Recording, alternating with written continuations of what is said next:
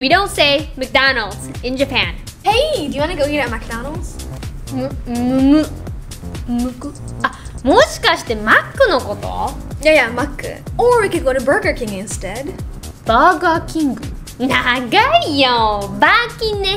バーキン。It's so much shorter in Japanese. でも今日はケンタッキーの気分かな。Why is KFC longer?